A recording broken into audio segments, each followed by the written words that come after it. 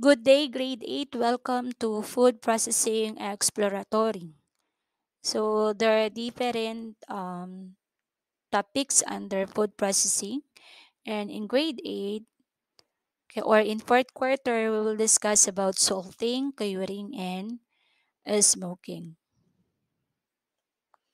So, the first topic is about prepare equipment, tools, materials, and utensils. So, these are the objectives for week 1 Prepare equipment and tools for salting, curing, and smoking in accordance with manufacturer's specification.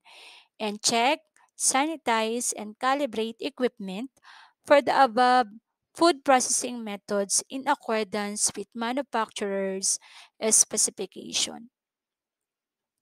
So in this lesson or this lesson covers the preparation, use, and operation of equipment, tools, materials, and utensils commonly used in processing foods by salting, curing, and smoking. The large equipment necessary for the proper preparation of food includes a refrigerator and a range. Proper use and care of equipment will not only make food preparation quicker and easier but also ensures their lasting service. It comes with a manual that guides the user how they are operated, cared, and stored. It is important for you to be familiar with the specification of equipment before using them, wherein it includes its handling requirements, operating requirements, discharge label, reporting, testing, positioning, and refiling. Now, let's proceed to the discussion of the common equipment, tools, and utensils used in processing food by salting, curing, and smoking. Now, let's start first with the equipment. When we say equipment, this is a complicated tool. It is either operated manually or or motor or with electricity. So these are the examples of equipments used in salting, curing, and smoking. Okay, refrigerator, freezer, gas range, gas stove, meat grinder, and sealer. Now let's discuss the refrigerator. It is used for storing foods like fruits and vegetables in low temperature, which is 4 degrees Celsius. It is available in different sizes. Next one is the freezer. Freezer is used for storing foods like fish and raw meat at an above freezing points 0 degree Celsius. It is um, available as vertical or upright freezer. Next one is the poly or impulse sealer. So this is used to seal packaging and other thermoplastic materials. It comes in different types like cabinet, barrel, or drum. Okay, number four, gas range. This is used for heating or cooking or for processing foods. It comes in various sizes and capacities. Number five, gas stove. This is used as a source of heat, commonly used for cooking. It uh, it's either single or double burner or available in a single or double burner. And number six, meat grinder.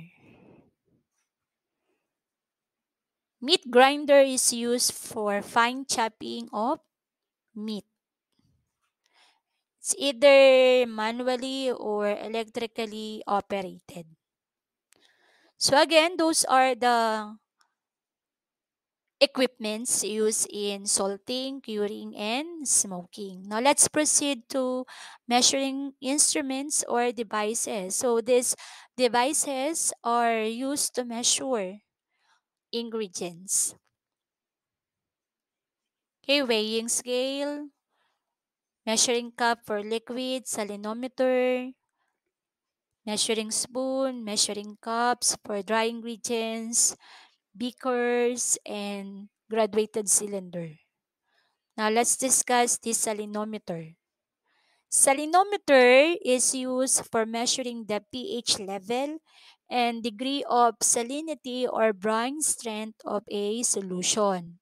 So what is pH level? pH level is for water or for liquid.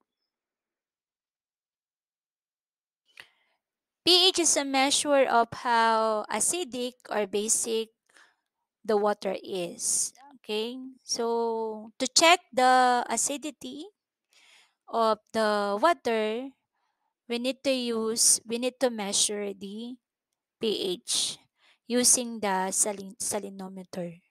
Okay, so the range goes from 0 to 14 with 7 being neutral. Okay, pH of less than 7 indicate acidity. So if the pH is less than 7, it means that the water is acidic. Whereas a pH of greater than 7 indicates a base. Okay? pH is re- really a measure of the relative amount of free hydrogen and hydroxyl ions in the water. Now, to check the pH level, we can use the salinometer. And again, it is also used to measure the degree of salinity. Salinity is salt or brine strength of a solution. When we say brine, it is a mixture of salt and water. Now, if you want to check or to measure the salinity or the brine strength of a solution, you can use the salinometer device. Okay, next one is graduated cylinder. It is used for measuring the volume of liquids.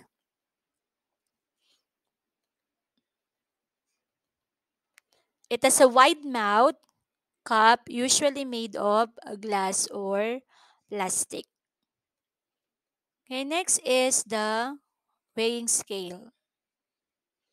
Weighing scale, this is used for weighing raw materials and other ingredients. It has different capacities and sensitivities. It can be digital or clock type.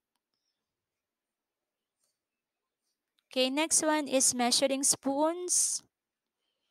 These are used for measuring small quantities of dry and liquid ingredients.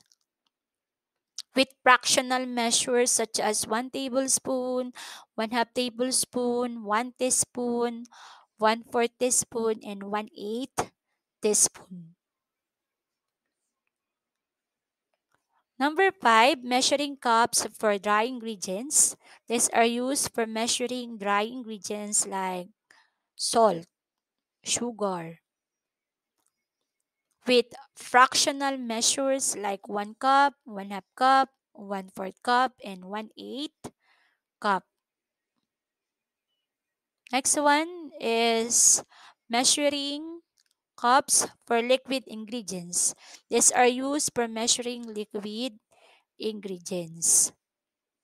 Usually made of transparent glass or plastic with graduated cup fractions as 1, 3 4 2 third, 1 third, 1 fourth, or 1 8 cup. And then last, beaker. It is used for measuring liquids or solutions. It's usually made of transparent glass. So those are the measuring instruments or devices. So those are used to measure um, the ingredients. It's either liquid or dry ingredients used in salting, curing, and smoking. Let's proceed to the utensils for cutting, preparing, and cooking. So these are the examples. Okay, let's discuss first the okay the knife. Knife is used for cutting or slicing fish or meat and other food items for or for scaling fish. Knife comes in various sizes and kinds. For example, a paring knife, the smallest knife, is used for paring or for removing the skin of fruits or vegetables. And then the common knife used by chef is chef knife. Okay. Again, this is used for cutting or slicing fish or meat and other food items or for scaling fish. Next one is the kitchen scissors. It is used for trimming the fins of fish. Fins in Tagalog, palikpik. Okay, of fish. It is small and handy, made of metal. Next one is cutting board. It is used to protect the table while cutting raw materials. There are different colors of cutting board. That colors serve as purpose. For example, white. White is used for white meat. Okay. Red. This is used for red meat like pork or beef. And then green is used for vegetables with green colors. Okay, so there are fruits and vegetables with yellow colors. Then blue is used for fish. Okay, the purpose is to prevent prevent the stains coming from the fruits, vegetables, fish, or meat. Okay, that's why there are different colors of cutting board. Again, this is used to protect the table while cutting raw materials. It's available in different sizes, usually made of plastic or wood.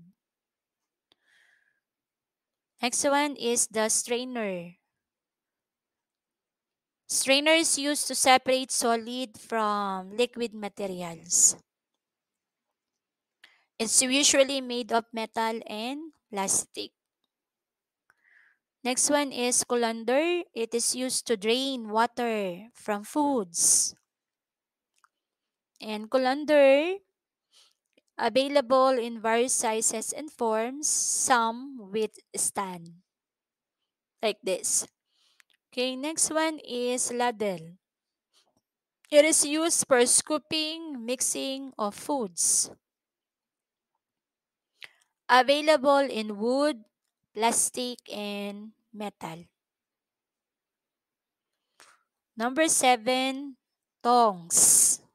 It is used to lift or hand, handle food and other raw materials, especially when it is hot. Tongs has two long arms. Again, this is used to lift or handle food and other raw materials, especially when it is hot. Number eight, saucepan or pot. It is used for cooking.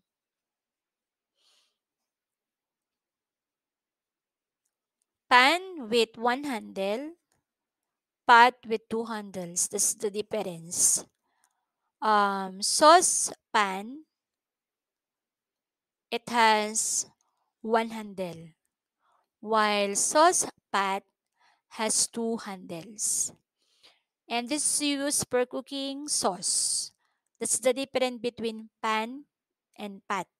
Again, sauce pan has it has one handle, while sauce pot has two handles. And is used for cooking sauce. Okay? Next one, casserole. It is used for cooking and boiling. Casserole available in various sizes. Some are made of aluminum, some are made of stainless steel.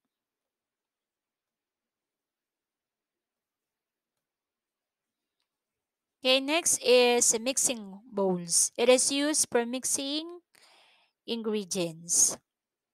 Available in graduated sizes and has sloping side, slides.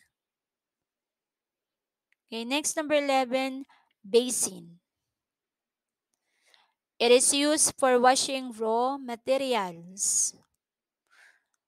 Basin available in plastic and stainless steel or aluminum and available in different sizes. Next one, number 12, peeler. It is a utensil for removing the skin from fruit and vegetables. If you want to remove the skin from fruit and vegetables, you can use peeler. Okay. It is available in plastic and stainless steel. Okay, number 13, wooden spoon.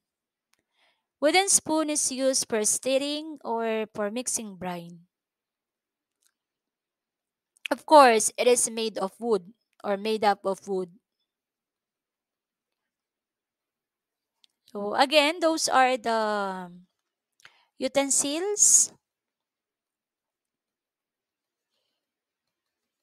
for preparation, for cutting, and for cooking.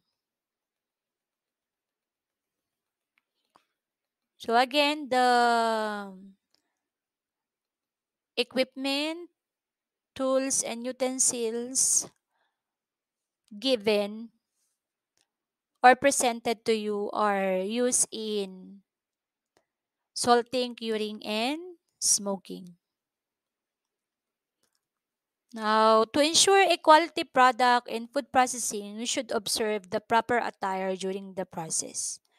Of course, we should wear PPE, or also known as personal protective equipment. So, what are these PPE? Apron, okay, mask, towel, gloves, and hairnet. So those are PPE used to ensure a quality product in food processing. So we should observe the proper attire or wearing of this during the process. Okay, now let's proceed to the procedure in checking, sanitizing, and calibrating of the equipment and tools. Now let's discuss about checking. Have all the equipment checked for any defects. Discard that those that are defective. Rep- repair if necessary. Periodical maintenance on the use of equipment and tools must be practiced and observe every after each use based on the maintenance schedule for every equipment. So we have to check all the equipments available in our kitchen. So we need to check for any defects, discard that those are defective, and repair if necessary. Next, let's proceed to sanitizing. Sanitizing is getting rid of the number of microorganisms on the surface where food comes in contact with. It cannot be accomplished until the surface surfaces where foods are processed are clean. Why we need to sanitize? Okay, proper sanitation of equipment, tools, and utensils will number one remove dirt or food material that harbor microorganisms. Number two, eliminate bacteria. Number three, prevent contamination. Number four, extend shelf life. Number five, improve food safety. And number six, reduce risk of involvement in food poisoning. And number seven, facilitate preventive maintenance. Those are the reason why we need to sanitize our equipment, tools, and utensils before the preparation, cutting, and cooking of the raw materials for salting, curing, and smoking. Uh, let's proceed to this one. The most common and the cheapest sanitizing agent used is chlorine. And how is the sanitizing solution prepared? So, area to be sanitized, hand dip. Okay? Equipment, floor, and washing vegetables. Now, let's say we need to sanitize the hand dip. Okay? So, this the solutions for sanitizing the hand dip. Okay, for water, we need 5 gallons. And for chlorine, 10.8 ml. And then, the amount of time in contact with the surface is 2 to 5 minutes only. So, soak the hand dip in a solution or sanitizing solution for 2 to 5 minutes only. After that, rinse in the clean water. Okay. Next, for the equipment. Okay, solution, 5 gallons of water and 54 ml of chlorine. Same. Same amount of time in contact with the surface. Okay, 2 to 5 minutes only. Okay, for floor, we need 5 gallons of water and 125 ml of chlorine. So the amount of time in contact with the surface is 20 minutes. Okay, and then lastly, washing vegetables. Okay, now to sanitize the vegetables, we can wash that using this solution. Okay, 5 gallons of water and in a 27 ml of chlorine. And then the contact time only is 2 to 5 minutes. Now, how is it done? Okay, first you have to prepare a solution as prescribed on the recommended dosage.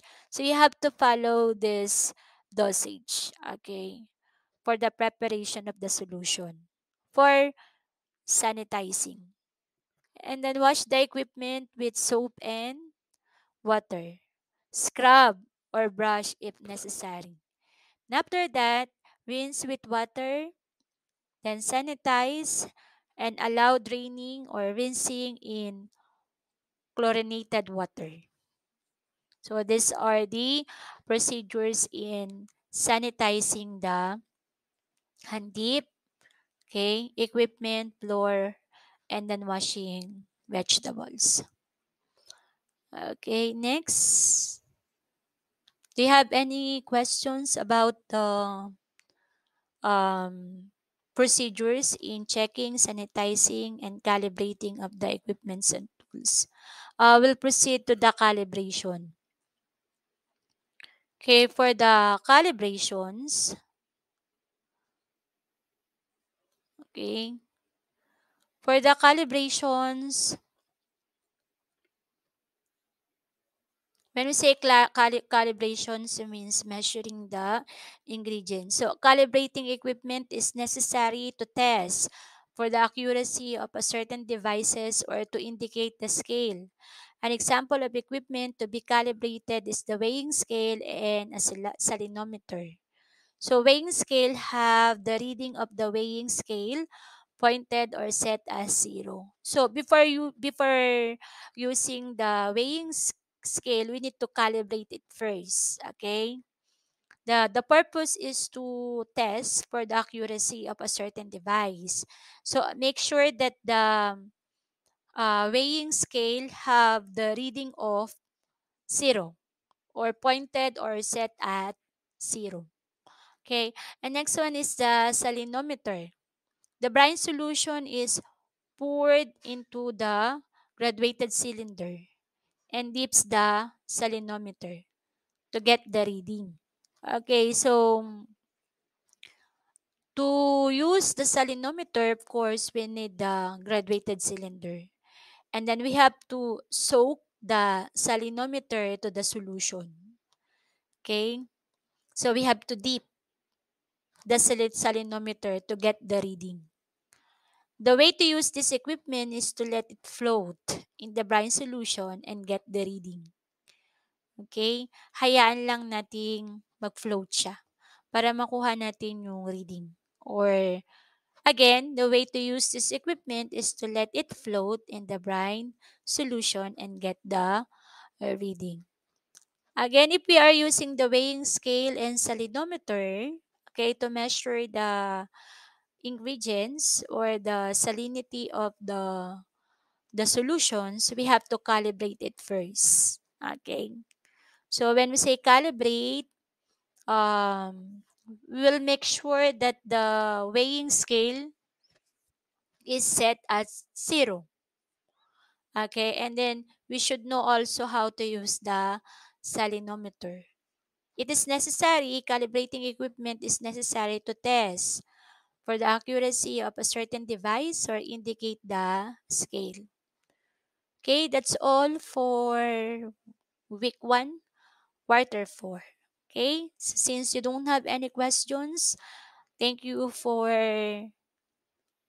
listening and be ready for the activities. Good luck and have a nice day.